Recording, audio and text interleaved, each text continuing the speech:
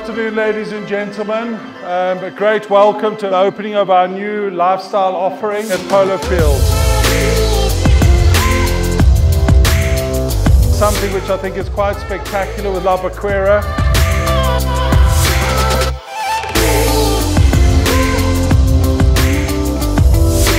The basketball court is our attempt to get the youngsters off their cell phones off their iPads and out there playing and bouncing the ball, which I think is working extremely well. We've just won a whole lot of five-star awards. But once again, enjoy this facility. Thank you to all our customers and our clients.